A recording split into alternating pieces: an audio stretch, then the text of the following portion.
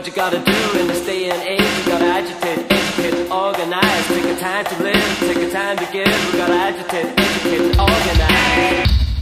organize.